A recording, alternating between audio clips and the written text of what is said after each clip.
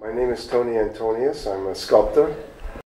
Initially, when um, when uh, when when I spoke to Ernie, you know, we were talking about um, having uh, Saint John and Saint Ignatius on either side of a, a doorway, and, and although they're on either column today, the, the one thing I wanted was I wanted to feel St. John moving in this direction and St. Ignatius moving in this direction.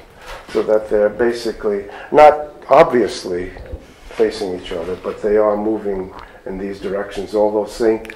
Uh, John uh, is uh, looking back toward us, he's moving that way.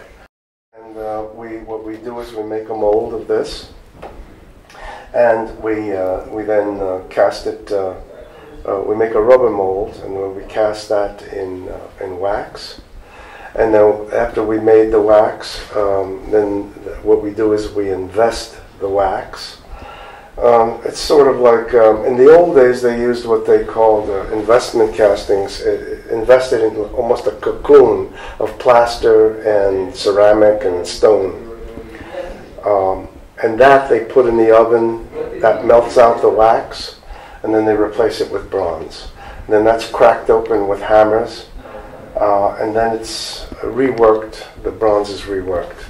When I deliver it, hopefully around the 2nd of September, they should be ready by December.